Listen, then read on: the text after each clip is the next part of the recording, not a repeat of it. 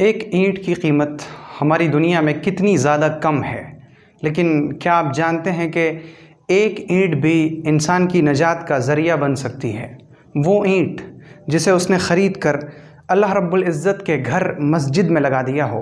पैगंबर अलैहिस्सलाम ने फरमाया कि जिसने अल्लाह के लिए मस्जिद बनवाई, चाहे वो छोटे से परिंदे के घोंसले के बराबर ही क्यों ना हो?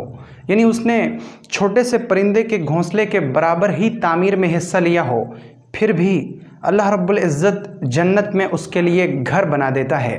तो फिर ज़रा सोचिए कि क्या जब मस्जिदें बनती हैं तो हमारी ये ज़िम्मेदारी नहीं कि हम मस्जिदों की तामीर में हिस्सा लें। बेशक ये ज़िम्मेदारी हमारी बनती है।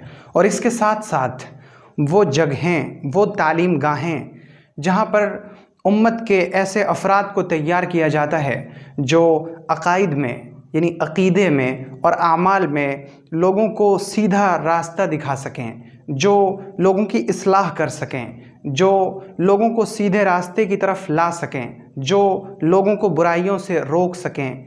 ऐसी तालीम गाहों की तामीर में हिस्सा लेना, ये आम सदक़े से बढ़ा हुआ सदका है।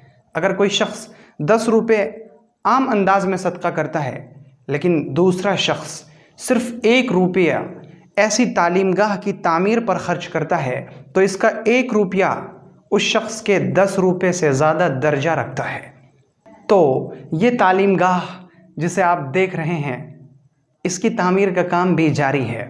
मैं आपसे गुजारिश करता हूँ कि अगर आपसे हो सके तो इसमें आप ज़रूर हिस्सा लें, चाहे वो छोटे से परिंदे के घोंसले के बराबर ही क्यों ना हो।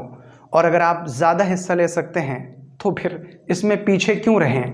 क्योंकि जो कुछ आपने खा लिया, पहन लिया, वो सब ख़त्म हो गया। जो यहाँ लग गया, वही सब कुछ बच गया।